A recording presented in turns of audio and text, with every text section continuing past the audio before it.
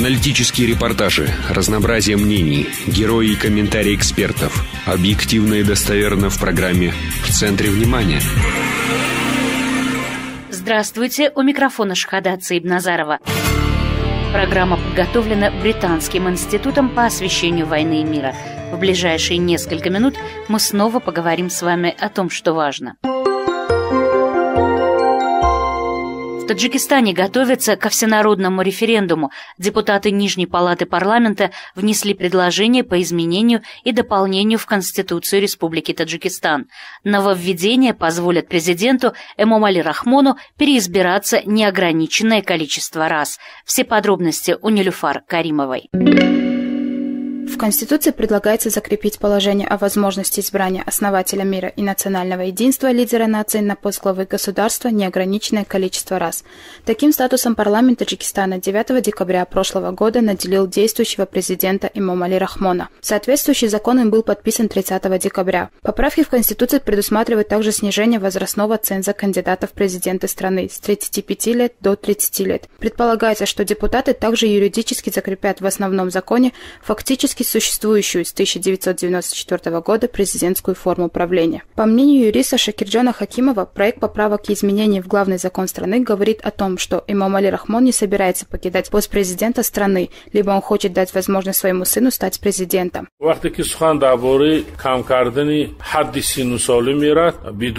Когда речь идет о снижении возраста для кандидатов, то бесспорно подразумевается один из близких родственников президента Эмумали Рахмона и теперь с учетом полномочий Эмумали Рахмона как лидера нации после принятия предлагаемых поправок, механизмы и рычаги влияния в определении политической жизни внутри страны и за рубежом будут гарантированы, если международные организации и влиятельные государства захотят внести во внутреннюю политику Таджикистана какие-либо изменения, то они могут это сделать двумя путями. Путем предоставления условий для близких родственников президента, либо удержать самого Эмумали Рахмона на следующих выборах, таким образом будет сохранена преемственность.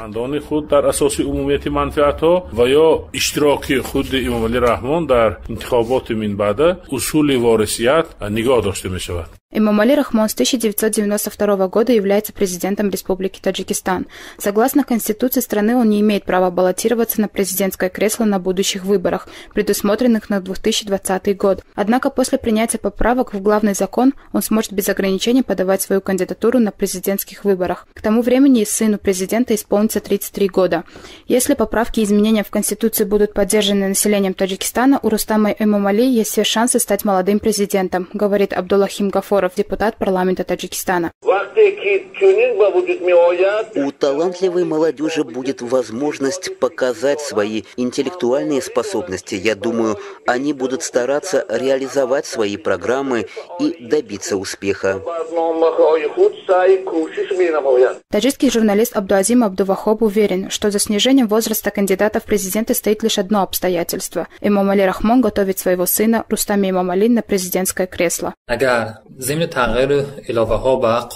Если с внесением изменений и дополнений в основной закон страны возраст кандидата на пост президента Таджикистана снизится до 30 лет, то становится понятно, что это было сделано ради старшего сына Эмумали Рахмона в 2020 году, когда планируются очередные президентские выборы, Рустаму еще не будет 35, потому все изменения только ради него. Бободжан Шафе, эксперт в области социологии, выражает надежду, что изменения в Конституции осуществляются не только ради Рустама и Момали, но это еще и возможность для молодых людей бороться за президентское кресло.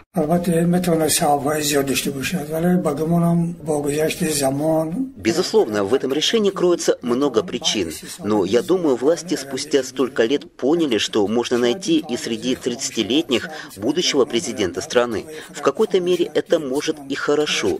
Может молодежь в будущем захочет попробовать попробовать свои силы на посту руководителя страны.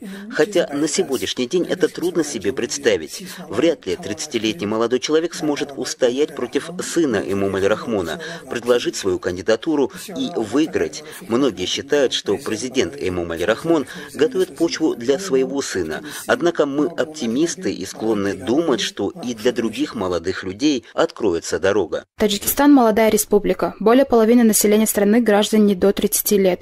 Самаду Ибрагимову только 25 лет. Он считает поправки и изменения в Конституцию Таджикистана хорошей возможностью для своего поколения, чтобы достичь власти. С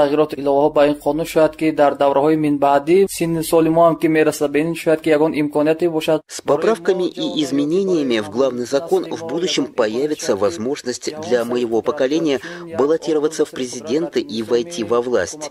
Думаю, это достижение прежде всего для молодежи Таджикистана. До того времени кто знает, что нас ожидает и что может произойти. Если изменения будут одобрены народом Таджикистана, мы сможем участвовать в политической борьбе. В истории независимого Таджикистана в третий раз будут внесены изменения в Конституцию страны. Поправки в основной закон вносились в 1999 году. Тогда появился двухпалатный парламент вместо однопалатного, и в 2003 году увеличился срок полномочий президента с 5 до 7 лет. Нилуфар Каримова, Душамбе. Уважаемые радиослушатели, если у вас есть какие-либо комментарии, вопросы или вы желаете рассказать о своей проблеме, вы можете позвонить на наш номер 44 640 10 11. Вы слушали программу, подготовленную Британским институтом по освещению войны и мира. У микрофона работала Шахада Цаибназарова. Наши радиосюжеты и статьи вы можете найти на нашем сайте в интернете www.iwpr.net или www.kabar.asia, а также на Фейсбуке вы можете посмотреть нашу страничку IWPR Таджикистан. Встретимся на этой же волне в то же время ровно через неделю. Мы снова с вами поговорим о том, что важно.